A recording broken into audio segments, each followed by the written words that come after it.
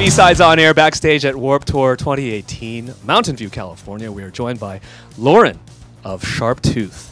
Hi. It is uh, very uh, uh, uh, claustrophobic in here. I want to say a little, little uh, warm, a little warm. Warm. It's warm in here. Warm out. But this is your first Warped Tour. First ever Warped Tour. This is crazy. I would have assumed this is like your tenth. No, uh, like not only uh, have we never been on a Warped Tour, we've never even played a single date. We've never even played like a local stage or a local Warped Tour. So this is we're the noobs for sure. Well, you snuck in just in time. Yeah, right. And then we're on the whole thing. So we're like, okay, uh, guess we better learn how to do this really quickly. Let's talk about your experience, I guess, with Warped Tour as a fan. Then I'm sure that you've attended quite a many. Oh my gosh.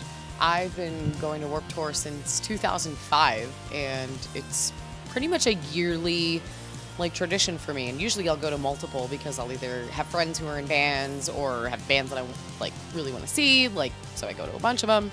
And yeah, Who was the one that really appealed to you, where you were like, I gotta go? 2005. 2000. Oh my God, everybody. That year was nuts. Was Story of the Year, Fall Out Boy, Atreyu. Like those were like my three favorite bands that year. I was like, oh my God, they're all there. Uh, Avenged Sevenfold played.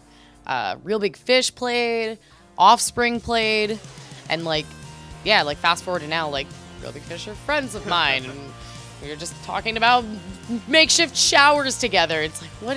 What is life? Yeah, right. I think if people listen to Clever Girl, it's wow, very a cohesive. Uh, there's there's a I think there's a message there somewhere. Oh yes. I think. there's definitely a through line in the album. Um, I mean, the first track is all about like basically finding your place and identity in heavy music, and then the last song ties into so many of those elements, like lyrically as well.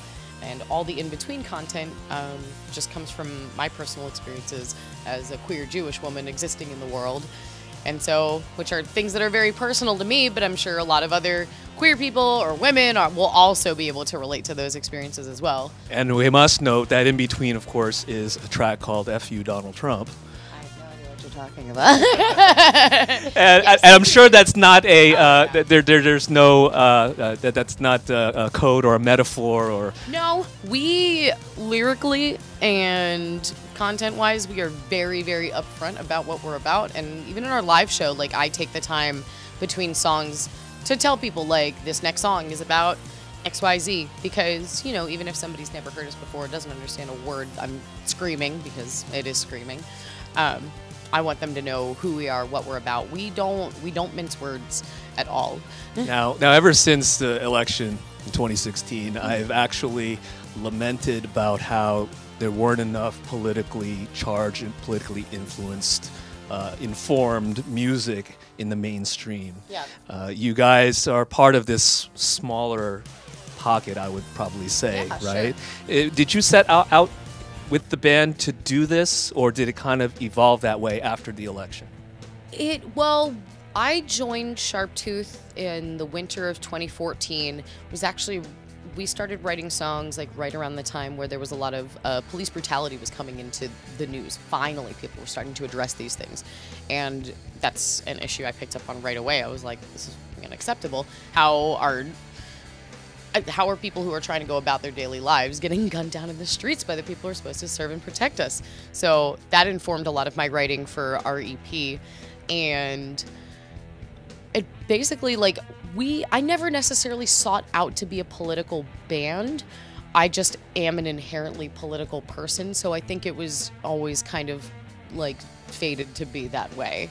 Um, Is that because you grew up around Baltimore, or Oh yeah.